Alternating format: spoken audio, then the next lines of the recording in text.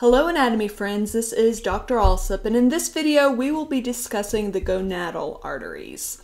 So the goal is really to be able to diagram these arteries from their source to their destination, which as the name would suggest would be the gonads.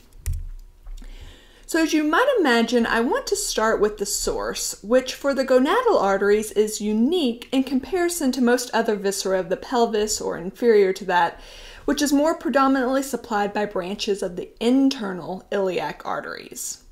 But the gonadal arteries are branches of the abdominal aorta, and you're probably very used to this image um, from our time uh, in the gastrointestinal portion of the course.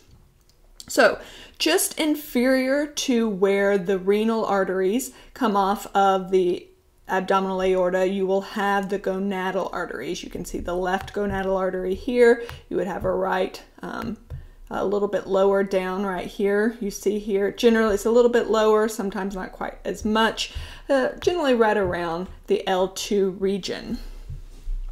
So functionally, why do these arteries branch so proximally when the ovaries and testes are located comparatively uh, so inferiorly?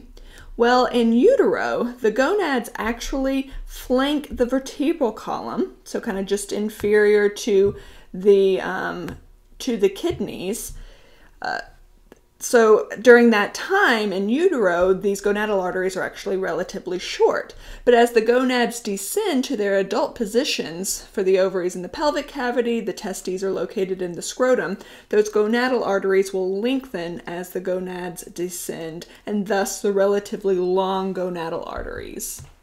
In comparison to some of the other uh, arteries in this region, like the celiac trunk or the SMA or IMA, uh, these are relatively thin arteries in comparison.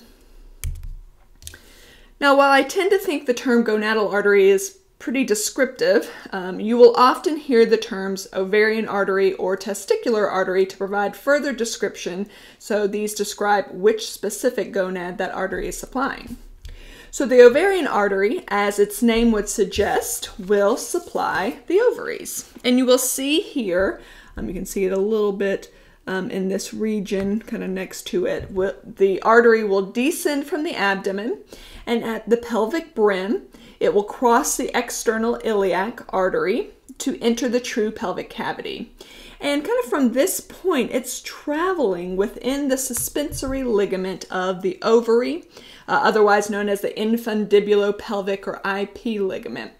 And the, this is a peritoneal ligament which is continuous with the mesovarium portion of the broad ligament of the uterus. So obviously the ovarian artery supplies the ovaries, but it will supply a portion of the distal uterine or fallopian tubes as well, and it will anastomose with the uterine artery. The testicular artery will supply the testes and the epididymis.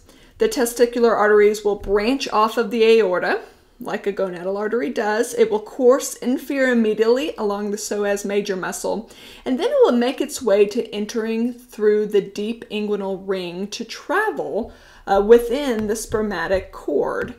Um, so it's going to travel through the inguinal canal, it will travel through the superficial inguinal ring, and into the scrotum where the testes and epididymis is located. Excellent. So those are the major points we want you to take away regarding the gonadal arteries, nicely summed up here in your summary slide. Please take your time to review, and as always, feel free to reach out with any additional questions. I hope you have a great rest of your day.